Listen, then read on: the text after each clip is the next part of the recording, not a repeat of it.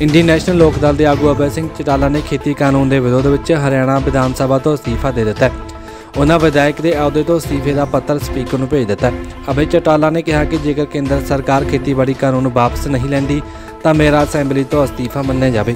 ਅਭੈ ਨੇ ਕਿਹਾ ਕਿ 26 ਜਨਵਰੀ ਤੱਕ ਕਾਨੂੰਨ ਵਾਪਸ ਨਹੀਂ ਕੀਤਾ ਜਾਂਦਾ, ਤਾਂ ਇਹ ਮੇਰਾ ਅਸਤੀਫਾ ਮੰਨ ਲਿਆ ਜਾਵੇ। Bureau report, Awaze Qaum TV.